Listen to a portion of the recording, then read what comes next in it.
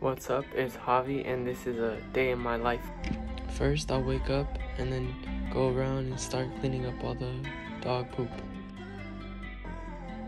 After that, I'll go and clean up all the cows and horses poop too.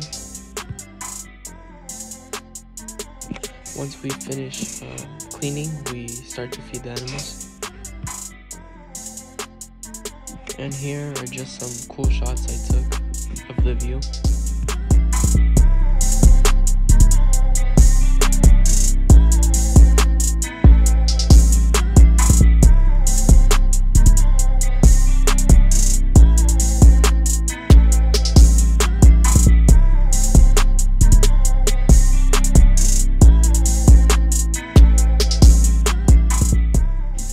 After that's done, I'll shower, get ready for school, and then go to class.